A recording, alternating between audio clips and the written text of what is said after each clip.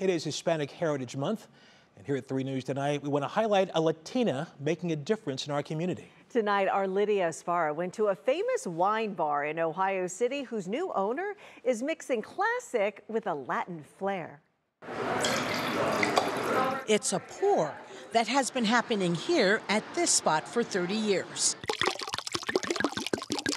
The Market Avenue Wine Bar in Ohio City now has a new owner. Why did you decide to buy a wine bar?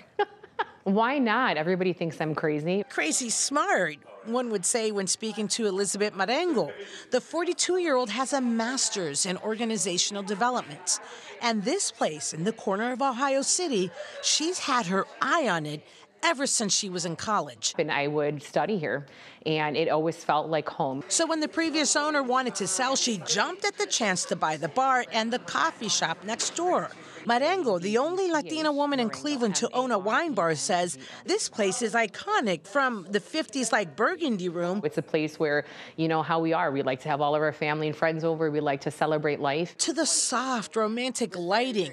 Why change it? Well, she says she won't. Maybe add like my touch, add a little Latino touch where it needs to be. Same on the coffee shop side.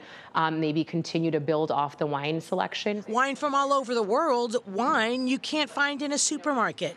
Marengo knows this is a tough market. She's in a world where men have built out this part of Cleveland. But in a man's world, this woman, a Latina woman, is determined to make her mark, celebrate woman, and tip the glass of success over her way. It's been a challenge, but one that I'm up for. And I think for any Latina, you know, or Latino in general, like be open to the resources and the connection opportunities available to you. Because honestly, if I didn't have that gumption to do it, I probably would not be sitting here right now. She's amazing. Market Avenue Wine Bar is celebrating 30 years in Cleveland. It will be celebrating this on October 5th in Ohio City. Marengo says it will be epic. Epic.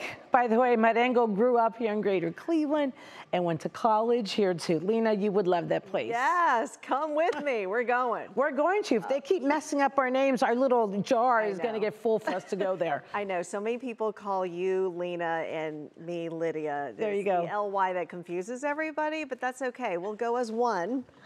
We're up to $4. Thanks so much, Lydia right. Esparra. Thanks.